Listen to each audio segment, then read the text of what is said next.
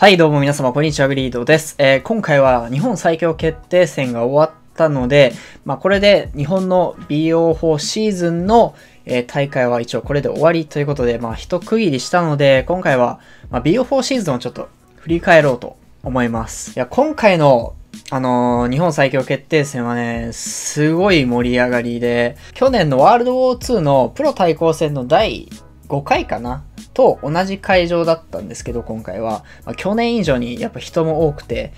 声援もすごかったですね。なんか、海外大会並みにこうみんな声をこう出してくれてて、ものすごく盛り上がりがすごかったです。で、これはね、やっぱ現地に来て来ないとね、多分わかんないと思うんですよね。この雰囲気とか、まあ楽しさっていうか、まあ本当生放送だけでは多分伝わらないと思うので、今回ね、来れなかった人はね、次回、まあ機会があれば、絶対に来た方がいいと思います。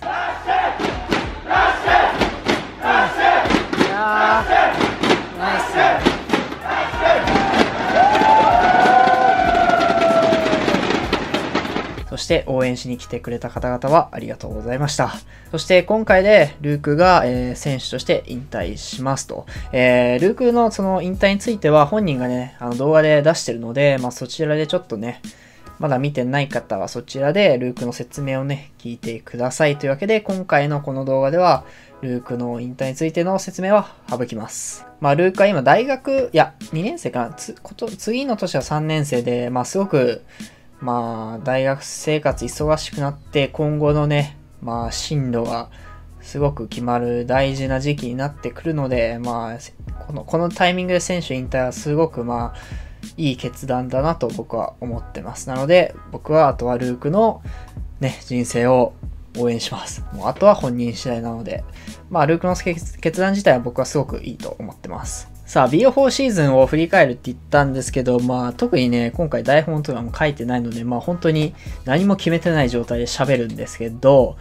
まあ、BO4 シーズンは僕にとって、まあ、なんて言うんだろうな。初動は、まあ、すごく良かったですね、初動は。まあ、大会も一発目、JN、一発目の JNQ、GB の大会を優勝して、ラスベガスに、CW ラスベガスに出場してって感じだったんですけど、やっぱ、その後にちょっとね、目の病気のせいで引退選手、選手をこう、まあ、やめないといけない、できなくなってしまったのが、やっぱ自分としても、まあ苦しい年でしたね。で、まあメンバーが本当一番大変だったと思うんですけど、まあ一番大変な思いをさせてしまったと思うんですけど、いろいろ悔しい年でありましたね。まあいい考え方をするなら、まあその選手をこうやってないこの時期っていうのは、まあ今までやれてこなかったことができたりとかもして、一時ちょっとフランスに出張行かせていただいただいたりとか、まあいろんな経験はね、できた年ではありました。けどやっぱり悔しい思いが強いですね。ラスベガスの後、まあ僕がこうね、できなくなってしまって、やっぱりチームとしては、やっぱメンバー、新しいメンバーを探さなきゃ、新しいメンバーを探さなきゃっていう時期がすごくやっぱ長かったですね。で、五郎が入ってきて、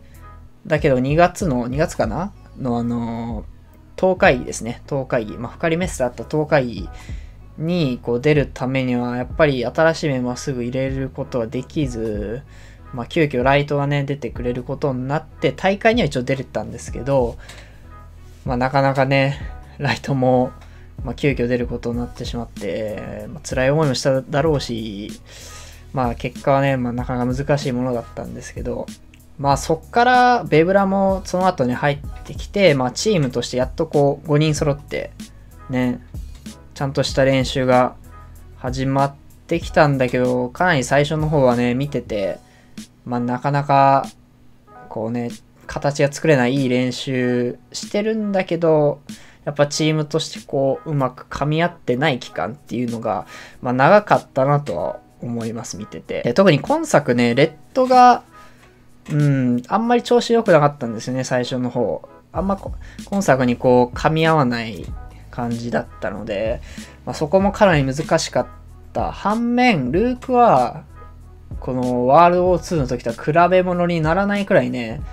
急激成長していったんですよね。他のメンバーとは反して一人だけまあ調子がバカ上がりしバカ上がりしてって、まあ本人のね、もちろん才能と努力もあるんですけども、どんどんどんどん伸びていって、ラスベガス大会の後、まあ本人もやっぱりそのラスベガス大会の後になんか、こうね、やっぱ世界を初めて経験して、こう覚醒した部分があって、まあ、そこからどんどんどんどん伸びていったんですけど、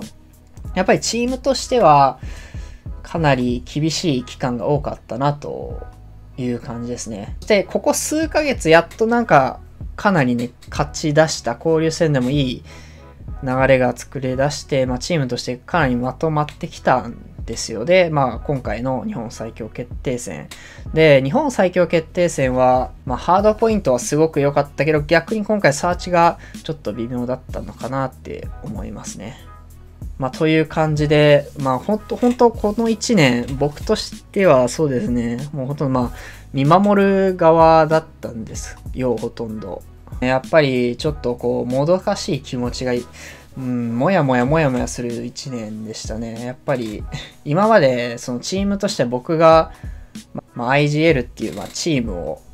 まとめる、まあ、作戦決めて指示出してっていう役割を僕がしてたんで、それがね、僕が急にいなくなっちゃったんで、まあ、かなりメンバーは辛い、まあ、難しい期間がやっぱり多かったですよね。まあなんかいろいろ話しましたけど、とりあえずやっぱ、うん、悔しい、悔しい1年でした。まあいい経験、他の経験もしたけど、やっぱ悔しい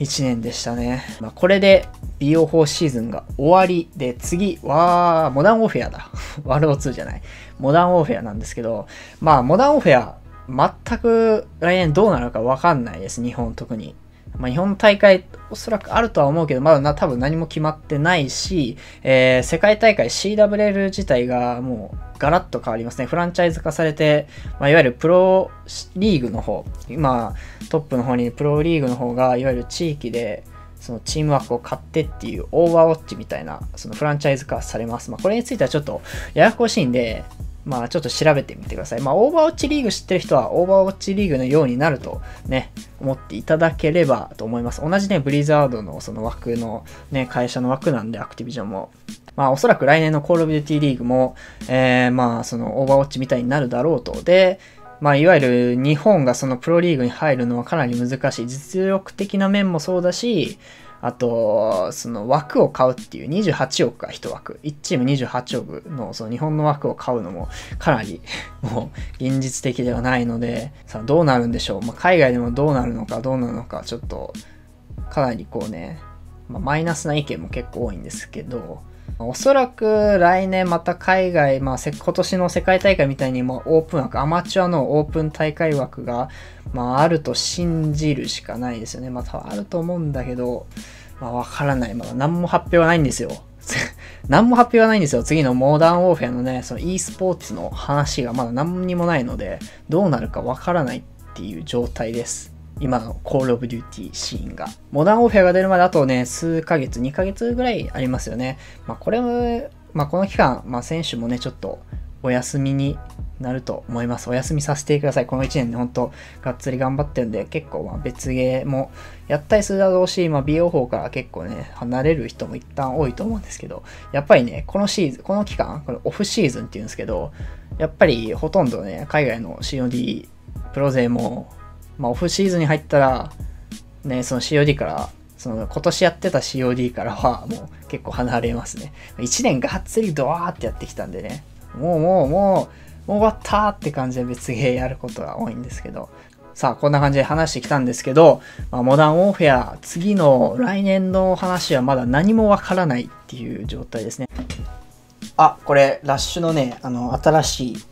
T シャツなんですけど、えー、っとね、8月の16日から22日まで原宿のラフォーレ原宿でポップアップストアね、開くっていうことをね、前から言ってたんですけど、えー、僕は17と18の土日にいます。この時間帯にいます。えー、ラッシュの新作アパレルと、まあ、発信の新作アパレルもあるし、まあ、僕たちとも会えるっていうね、イベントになってるので、ぜひよろしくお願いします。はい、というわけで今日はこんな感じで終わりたいと思います。えー、今回ね、話の進め方をちゃんと決めなかったので、ぐだってしまったんですけど、まあ、ラジオ感覚的な感じでね、聞いていただけたらなと思います。で、最後にこういうのね、来年の話するんですけど、来年の話はまだ、ちょっとこの動画では話さないかな。ちょっとまあ僕もいろいろ決めてなかったり、まあね、次回作どうなのかとかもわかんないしね。まあ、とにかく皆さんにも、まあ僕にも、まあ、いい話がね、報告がね、できればなと思います。来年に関しては。というわけで、バイバイ。